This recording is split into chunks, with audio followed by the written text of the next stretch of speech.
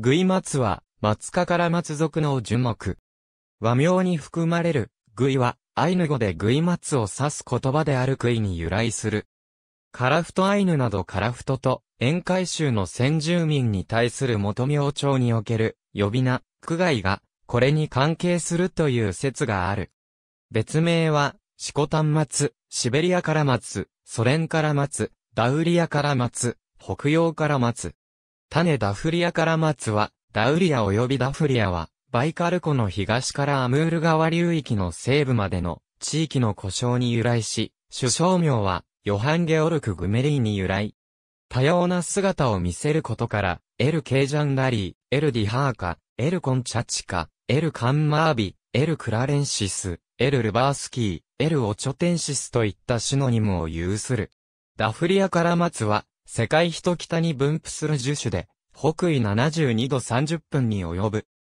西は、タイムイル半島のピャシノ湖とバイカル湖を結んだ線。東は、レナ川の下流域の大部分を含みアルダン、川方面でその中流域から、南の方向へ、オホーツク海のウダ湾、さらに、ブレア山脈から、南の方向へ向かい小高安霊山脈の尾根沿いへ、ロシア国境のアムール川へ至る。分布域の南は、ザバイカル東部にあたる、グイマツの松笠。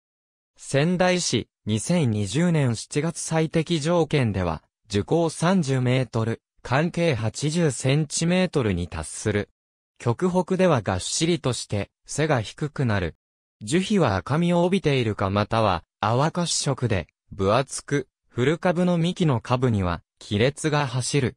信用は明緑色で、長さ15から 30mm、細長い線形、25から40本を一束に、節型。球花は15から 30mm の楕円形。小さなもので20から30個の鱗片が4列、大きなものでは40から50個の鱗片が6列ある。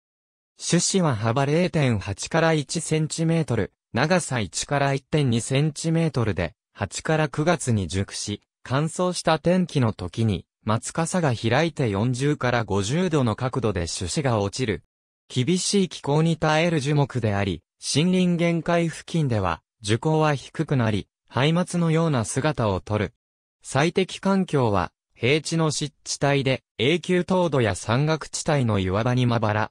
気候の厳しい場所では、競合種はなく、最適状況では頭皮、松、カバの木などとの混成林となる。種ダフリアから松エルグマリニアの変種としては、下記のものがある。ロアーリスク、リーストコンサーン IUCN レッドリストでは、1998年版で、種ダフリアから松エルグマリニアが、軽度懸念に評価されたが、更新が必要とされている。ありがとうございます。